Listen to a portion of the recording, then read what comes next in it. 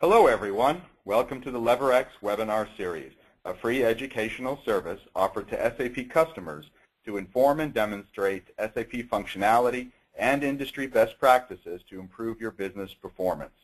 Our webinar today is entitled Essentials of SAP PLM 701, Engineering BOM and Product Structure Synchronization, or PSS. This webinar will introduce new engineering BOM and PSS capabilities found in the SAP PLM 701 release. In addition, we will discuss the value of developing a prototype using customer data to validate the use of these new capabilities and help justify an SAP PLM 701 implementation project. We are thankful to SAP Solution Management and SAP Centers of Excellence for joining us for today's webinar. My name is Alan Mendel, Vice President of LeverX. I will be our webinar moderator today. Before I turn the time over to our presenters, let me introduce you to LeverX. LeverX is an SAP Services Partner, an SAP Business Object Solution Partner, associate member of the PLM Alliance, and a Google Enterprise Partner. LeverX assists companies increase business value by leveraging existing investments in SAP solutions. So maybe first just to um, yeah, give you um, um, some background why we decided to think like we, we do currently. And I think there are certain global trends which are uh, which have a major impact on product development. And I think number one is time to profit. Everyone wants to shorten the time until, until he gets profit of a new product. And um, some other trends are also that um, we have a consumer-driven sustainable innovation, um, which means that, that customer rather uh, want to have their own product, their own variants, and so on. Uh, they they grab a product from a standard, but then they need a slightly adjustment for their special needs, and it for sure needs also to be uh, sustainable. So green products are also very common and, and, and uh, uh, currently. The next thing is for sure, uh, I think that has never changed. It's uh, global price, so there is a global competition, and uh, there are places where products may be um, uh, cheaper or which can produce for cheaper price, and also the the time pressure. And then there is also upcoming more and more um, compliance and regulation issues, so um, that there are even more obligations when you pro produce a product, what you have to take care about the um, ingredients and, and, and all the um, the components of a product which have to fulfill certain criteria. I think this all, these trends, these um, issues and challenges lead um, and have also a major impact on, on product data management, so which is uh, something very core to the product development. So it leads to more variants and alternatives, uh, which raises also the product complexity.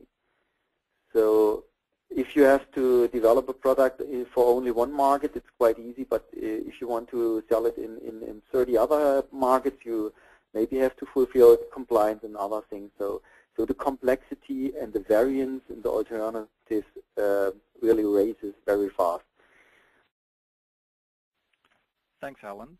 So my name is Christian Butzlaff. I'm the Director of Value Prototyping Americas and I would like to uh, show you how you can use SAP Value Prototyping to actually um, try out um, the new functionality in PLM or even even other functionality um, and what kind of uh, um, group we are, and what kind of services we provide.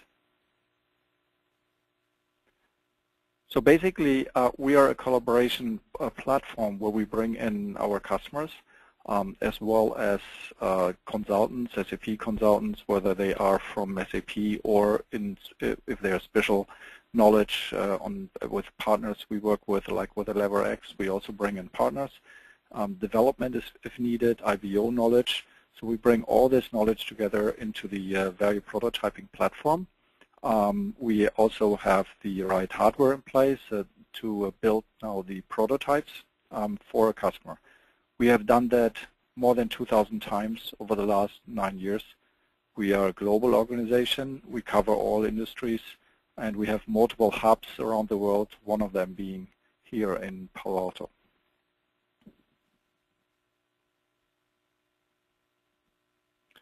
So how does an engagement with value prototyping look like?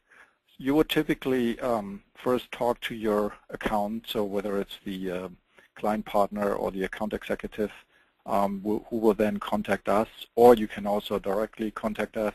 Um, the uh, contact information will be um, shown later on the, in this presentation. Um, and then we will make sure that uh, the account is involved in this discussion.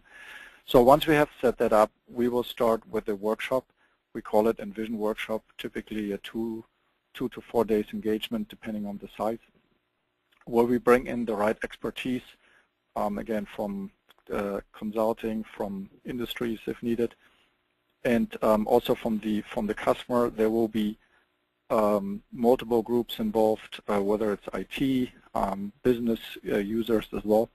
So we bring in all them into this workshop, and we want to look into the business problem and into the business process, um, starting from the top all the way down to the data element um, level if needed.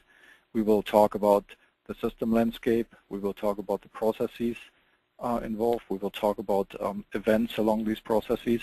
And we will come up at the end of this workshop, we will come up with a mapping um, of, of your processes to the uh, two uh, solutions. Right. So this part of the presentation, we just want to give you a brief overview of a case study of a SAP PLM implementation that was done jointly between LeverX and SAP Centers of Excellence. So to give you an example of what Christian was explaining. So this, uh, this customer was a large global corporation with multi-product lines, multiple product lines and sales of greater than 30 billion US dollars. Their, their goal was to quickly implement an SAP PLM eh, implementation into one of their divisions with the hope of then expanding that implementation to other divisions after go live. Uh, they had a number of issues though. They had limited internal resources uh, they, that had any PLM background. Uh, so they, it was very difficult for them to judge whether the implementation effort, how much it would be, how quickly it would go, and so forth. So they really wanted to make sure that the SAP PLM functionality would be able to fit their business requirements before they move ahead with the project. This is a basic requirement that, that pretty much any organization has. A solution was required quickly, the business was growing, and they needed to implement a data management solution to meet their demands uh, in a very short time period.